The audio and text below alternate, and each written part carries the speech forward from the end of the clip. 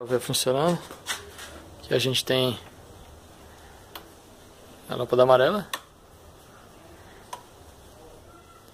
Uma das principais, eu coloquei as outras, eu vou encaixar já já. E